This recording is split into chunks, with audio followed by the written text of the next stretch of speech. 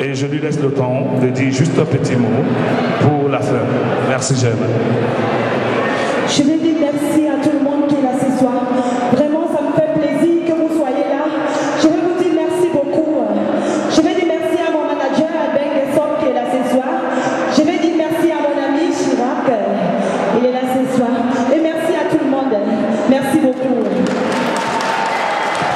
Grazie a mesmo.